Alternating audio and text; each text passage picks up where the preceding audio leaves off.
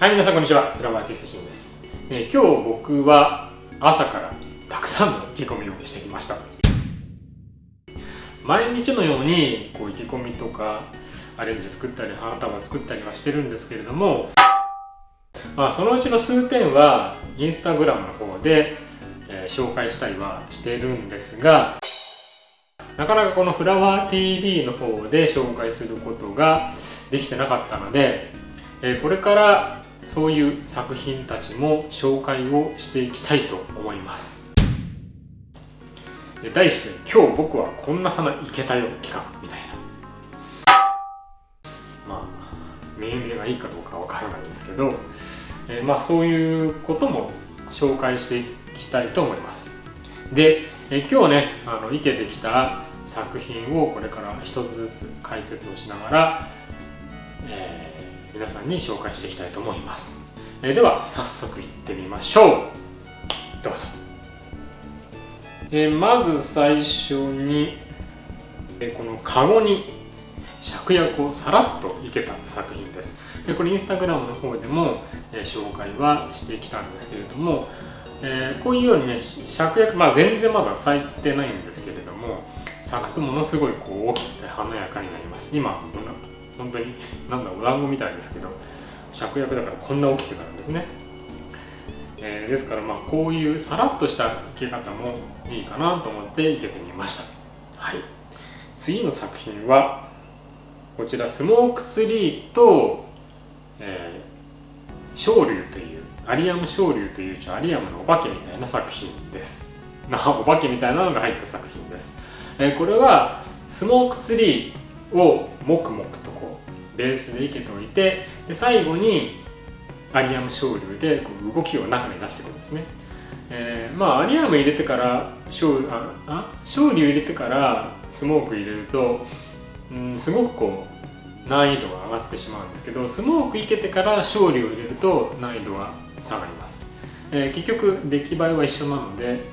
えースモークを入れてから勝利を入れる。まあこういう時の生き方はこのようにしたらすごくスピーディーにかつ。素敵に仕上がると思いますのでぜひ皆さんも真似してみてください。はい、はい、次の作品、えーこれは銅弾筋とヘルコニアとスモークツリーの作品ですね。はい、でこの場合入れ方としてはまず銅弾筋を入れてその後ヘルコニアを入れて最後にスモークツリーを入れます。えーヘルコニアを入れてから銅弾だと銅弾がうまく止まらないと思うので銅弾を止めてからそこの空いたところに長さを合わせてヘルコニアを入れていく。まあその他はそれで最後にちょっと添えればいい感じだと思います。はい。そのように入れてみてえ次の作品はこれも昇竜使ってますね、えー夏ハゼと昇竜の作品です。これも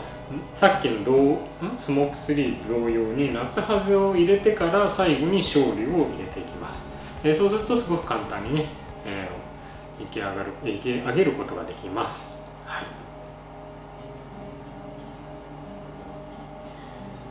はい、次の作品はこれ結構アレンジメントになってます。これは、えー、とフォームを使ってますね。キングプロティアとか、